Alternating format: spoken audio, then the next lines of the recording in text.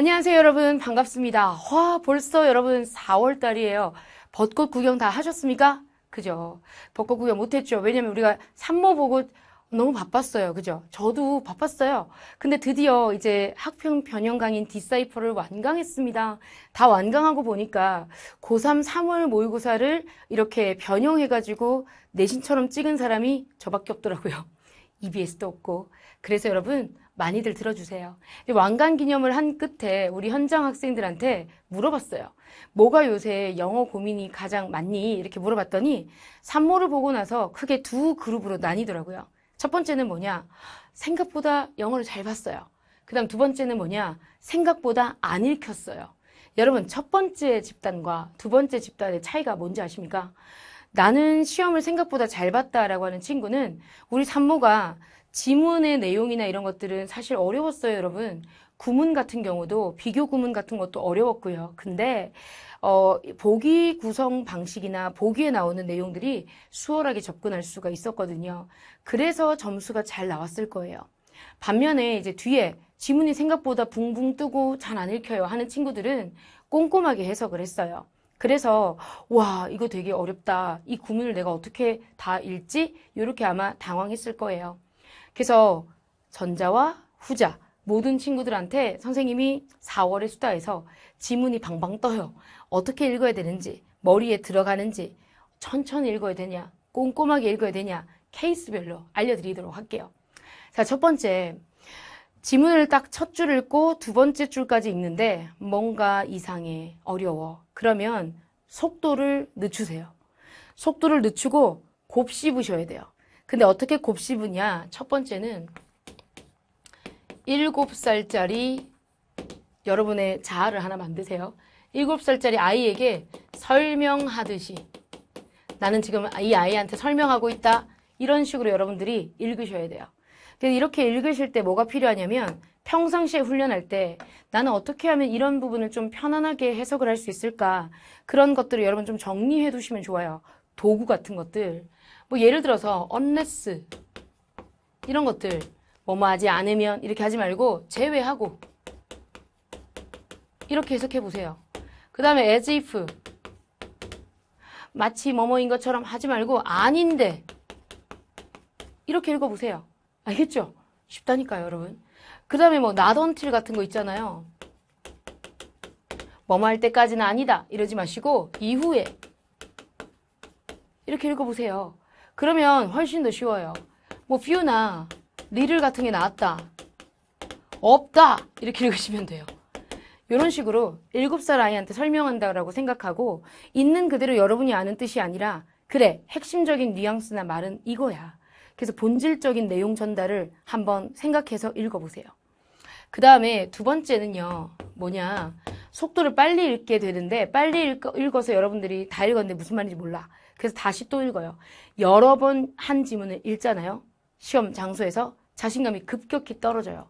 그렇기 때문에 여러 번 읽는 거는 하지 마세요. 한 번 읽고 끝내세요. 그래서 내가 한 번에 핵심을 이해한다. 이해해야지. 라고 하는 접근 방식이 훨씬 더 좋아요. 그 다음에 세 번째. 우리가 이것도 시험이니까 훈련이 필요하잖아요. 그래서 훈련을 해야 되는데 이런 생각을 하지 마세요. 내가 수능장이거나 아니면 앞으로 나올 육모나 구모에서 정상적인 사고로 시험을 본다. 그거는 되게 희박해요, 여러분. 긴장하고 떨리잖아요. 그리고 밥도 못 끓을 거고 그날따라 몸 컨디션이 안 좋을 수도 있어요. 그쵸? 감기 기운이 있어서 감기약 먹고 맛이 갈 수도 있어요. 그러니까 최악을 가정하고 한번 최악을 가정해보고 한번 지문을 읽어보세요. 가령 저는 어떻게 했었냐면 순서 문제예요. A, B, C가 있고 위에 주어지는 말들이 있잖아요. 그 말들을 읽지 않아요.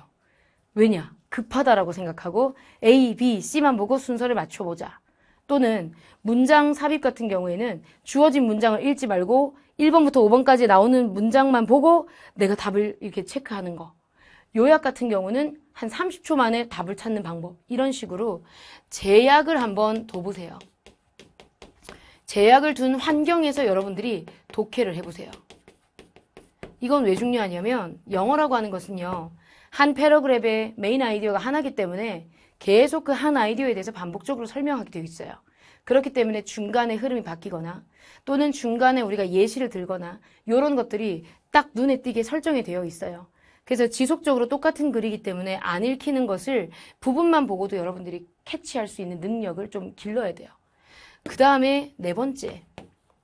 내가 이렇게 독해를 열심히 하는 방법을 알려줘도 게을리 하면 안 돼요. 그래서 하루에 적어도 세 개 지문 정도는 영어를 좀 읽어봅시다, 여러분. 읽자, 읽자. 제발 읽자. 어떻게 하면 영어를 여러분들, 어, 등급이 잘 안 나오냐면요. 이렇게 하면 등급이 잘 안 나와요. 지금 영어 할 시간이 어딨어? 딴 거 해야지. 그리고 5월달 지나가요. 6월달 육모 봤어요. 그래, 이제부터 영어를 좀 해보자. 근데 사실 좀 더 급한 과목들이 더 많잖아요? 했어요. 그리고 어떻게 보니까 구모 전이에요. 2주 전부터 열심히 영어를 해요. 안 돼요. 왜냐면 요령만 익히는 거랑 깊이 있게 글을 읽고 나서 그걸 문제풀이를 통해서 그 요령이 내 것이 된 거랑은 차원이 달라요.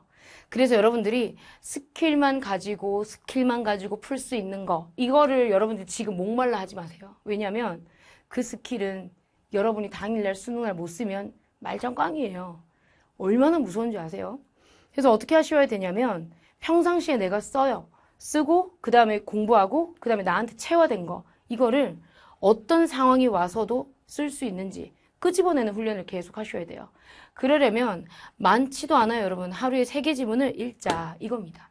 제가 해보니까 어떤 엄청난 변화를 이루기 위해서 엄청난 행동을 할 필요가 없어요. 그냥 조금 조금씩 하는 게 누적이 되면 그게 엄청난 것 같아요.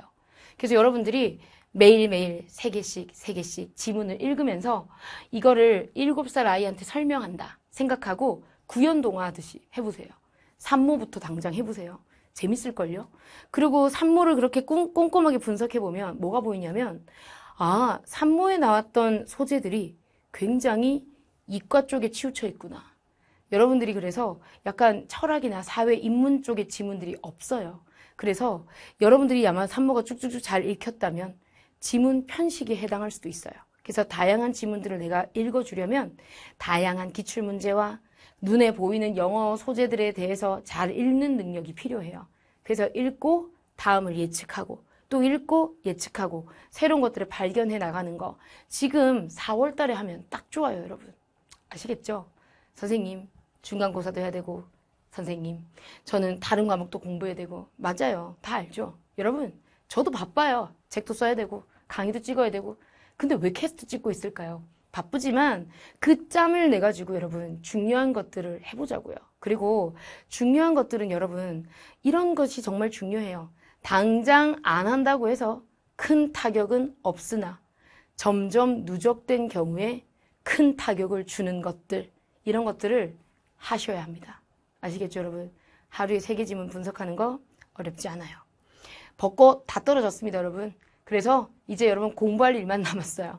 지문이 붕붕 뜨는 지문을 가라앉히기 위해서는 쉬운 표현으로 바꿔서 읽는 거 연습해 보세요. 그러면 이런 요령들이 막 생기게 될 거예요. 그리고 여러분들의 요령이 있다면 아래에다가 써주세요. 아시겠죠?